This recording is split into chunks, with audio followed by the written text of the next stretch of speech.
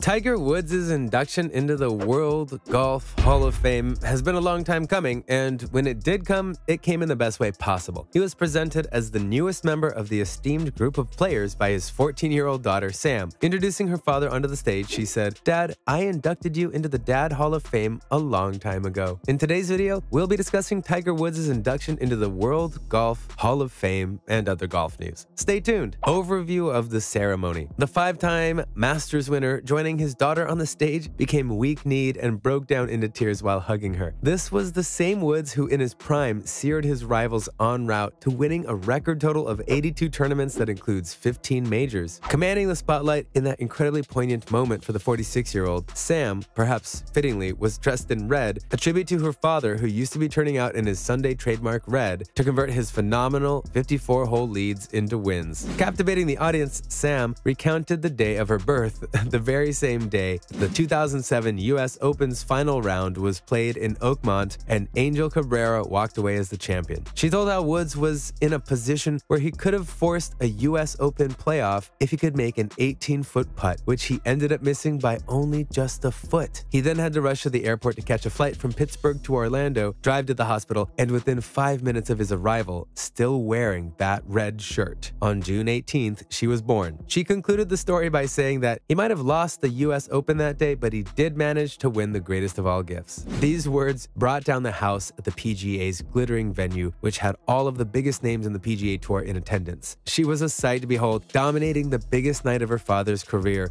just like he has dominated the golf course for the past two decades. The moment was so overwhelming for Woods that the teary-eyed golf legend tried to lighten the mood by saying that he lost a bet to Steve Stricker that he would not cry. And yet the most emotional moment of the night was yet to come when Sam discussed her father's early 2021 car crash that required him to undergo multiple surgeries on his right leg and has been the reason he did not feature in the entire 2021 season on the PGA Tour. Recounting her experience, she said that the family did not know if he would be coming home with both his legs intact or not. And now, not only was he going to be inducted into the World Golf Hall of Fame, but he was standing there on his own two feet, and that is a testament to the fighting spirit that he has. Woods' legacy, through the words of his colleagues. The 2019 Masters Championship win is considered to be Woods' greatest victory because it came after he had undergone multiple back surgeries for his recurring injuries. He has become the latest inductee into the Hall of Fame for both what he has done on the golf course and also for what he has done for the game as a whole. His remarkable legacy is more than just about his dominance on the green and the resulting five Masters titles he's won and the three US Open titles to go with his three British Open titles and four PGA Championship wins. That dominance, in fact, coupled with the color of his skin, brought about diversity to a once white only sport because it inspired the same players who today own the game of golf at the moment. If we were to look at the list of some of the top players in the world right now, you would be hard pressed to find a player who was not influenced by Woods or who was not attracted towards it because of him. Current number one, Jon Rahm, credits Woods for being the inspiration for a whole generation of players dominating the game today and for enthralling the golf world for 20 years, pulling off amazing feats one after another. Collin Morikawa, the current number two, has won two major championships championships in the last three years and has been beating Woods, but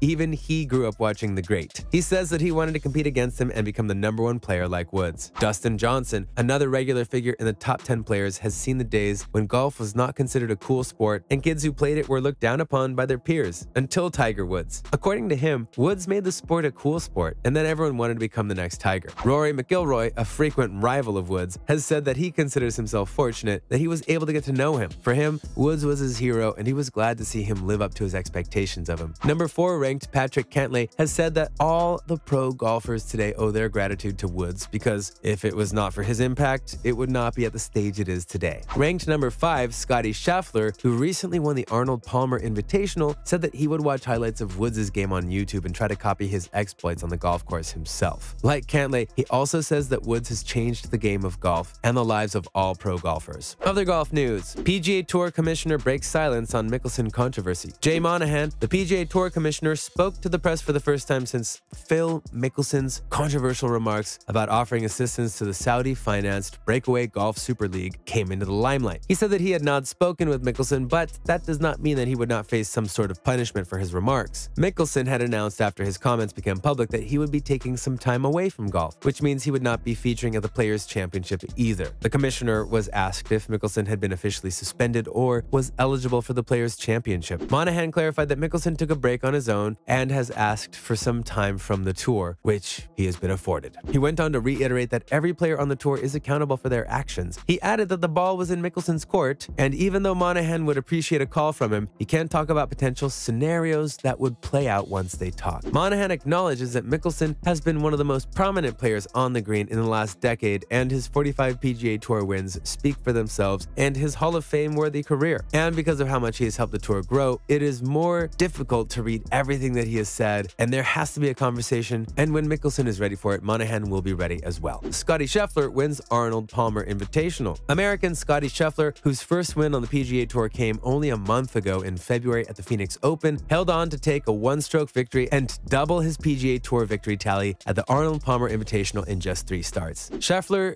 did fire an even par 72 to finish 5 under to seal the win, but at one time, he himself was in a bit of a pickle after he hit two birdies and three bogeys and was left at one over through nine holes. He started his comeback at the 12th with a 5 foot birdie putt that brought him to 5 under before he had a 21 foot putt at the 15th. He said that he did not feel like he was swinging the clubs well today and ended up hitting quite a lot of bad spots, but because he kept at it and made some crucial putts towards the end, he ended up with a narrow win. Play at the Players' Championship suspended. The first round of the much awaited Players' Championship faced a delay of more than four hours on the first day, and only 11 or 12 holes out of 18 had been completed for the last group of players for the afternoon before the rain returned. Of the late starters, only 24 were able to complete their 18 holes of the first round, while the rest of the 48 still had some holes left. With the disrupted progress, Tommy Fleetwood and Tom Hoge were leading the pack at 6 under, with Bryce Garnett also 6 under, having played just his first 13 holes. Saturday morning had a forecast of severe thunderstorms as well, and the weather was expected to clear out by afternoon, with the winds expected to remain sustained at 20 to 30 miles per hour. Sunday and Monday had a clear forecast, and Gary Young, the PGA Tour's chief referee, has said a Monday finish is a likely possibility if play could not resume on Friday. It would be the first Monday finish at the Players' Championship in nearly 17 years, with the last one happening in 2005. That's a wrap for this video.